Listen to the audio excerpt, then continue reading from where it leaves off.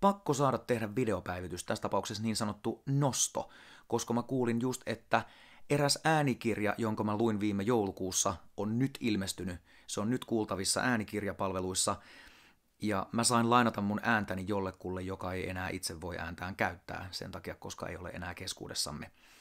Kirjan nimi on Okke Blomqvist, ja se on legendaarisen tanssinopettaja Okke Blomqvistin elämäkerta. Sen on kirjoittanut Maria Björk ja Okke Blomqvistin tytär Clara Blomqvist ja sen on kustantanut readme.fi.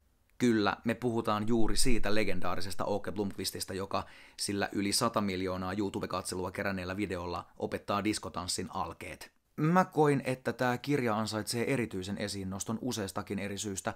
Ensinnäkin Oke Blomqvist itse oli vallottava persona ja viisas ihminen ja kaunis sielu. Siellä oli monta kohtaa, kun mä repesin nauruun kesken tekstin ja sitten piti ottaa totta kai uudestaan.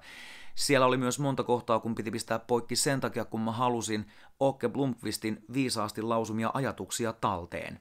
Toinen syy on se, että Oke Blomqvistin käsittämättömän pitkä ura paritanssin opettajana ja paritanssin opetuksen suomalaisena pioneerina aukaisee mielenkiintoisen uniikin perspektiivin suomalaiseen populaarikulttuuriin. Mun kaltaiselle populaarikulttuuridiggarille tämä kirja oli täynnä herkullisia anekdootteja esimerkiksi Maikkarin viihdetuotannoista tai lauantai-tanssit ohjelman tekemisestä tai Seinäjoen tangomarkkinoiden alkuvaiheista. Harvempi nimittäin tietää esimerkiksi, että kun suomalainen tanssii tangoa, niin ne suomalaisen tangon askeleet on Oke Blomqvistin ja hänen vaimonsa kehittämiä. Okke Blomqvist rakkaudella suomalaista paritanssikulttuuria kohtaan jalosti traditionaalisesta argentinalaisesta tangosta nämä suomalaisen tangon askeleet.